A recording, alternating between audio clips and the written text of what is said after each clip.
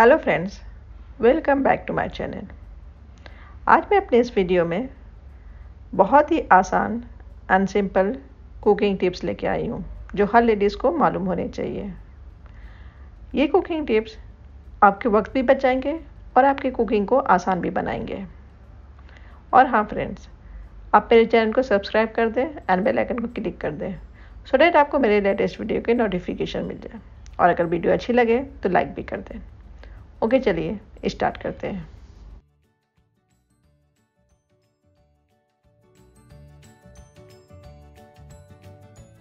Hot pot में गरम रोटियाँ ज़्यादा वक्त तक गरम रहे, इसके लिए एक सिंपल सा उपाय करें। आपको करना है क्या है कि हॉट पॉट में पहले आप गर्म पानी डालकर इसको बंद कर दें और 10 मिनट तक यूँ ही रहने दें।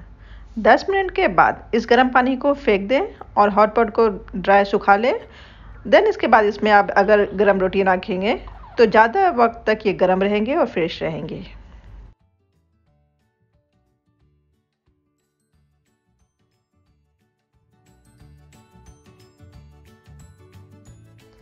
जब भी पत्ता गोभी की सब्ज़ी बनाते हैं तो उसे स्मेल आती है।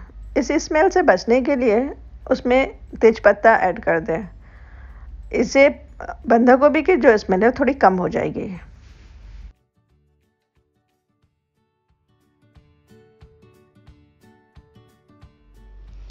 जीरे और धनिया। इसे हल्का भून कर ड्राई पीस लें। और जब भी सूखी सब्ज़ी बनाएँ तो इस ड्राई पीसे हुए मसाले को उसमें डालें। इसे सब्ज़ी में की खुशबू बहुत अच्छी आएगी।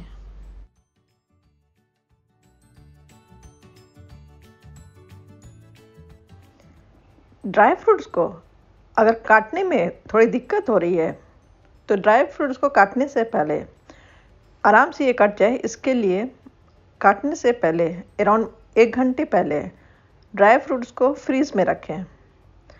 एक घंटे बाद जब आप इसे काटेंगे तो ये बिल्कुल आसानी से कट जाएगी।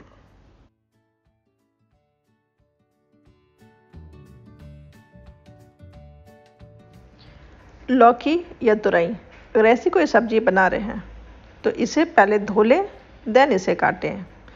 क्योंकि काटने के बाद अगर आप इसे धोते हो क्योंकि इस सब्ज़ी में पहले से ही पानी बहुत छोड़ देते हैं अगर बनाते हो तो पानी तो छोड़ देते हैं। तो एक कारण तो यही है कि पहले आप धो लें देन काटें। और दूसरा ये है कि अगर आप बाद में कटने के बाद धोते हो तो इसके बहुत सारे विटामिन लॉस हो जाते हैं इसके।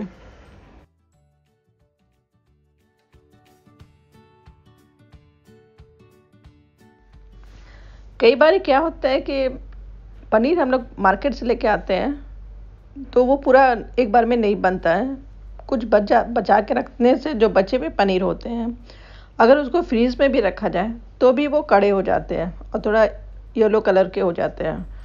तो पनीर बचे हुए पनीर को फ्रेश रखने के लिए सबसे अच्छा उपाय यही है कि एक बॉल लें, उसमें पानी ऐड करें, थोड़ा नमक ऐड करें एंड देन बचे हुए पनीर को उसमें डाल दें। पानी का लेवल इतना होना चाहिए कि पनीर पूरी तरह डूब जाए उसमें। देन इस पानी में डूबे हुए जो बॉल में पनीर है, इसे फ्रीज में रखें। इससे पनीर ज़्यादा लंबे समय तक फ्रेश बने रहेंगे। ओके फ्रेंड्स इस वीडियो में बस इतना ही। नेक्स्ट वीडियो में हाजिर होंगे कुछ नए टिप्स के साथ। तब तक के लिए बाय बाय टेक केयर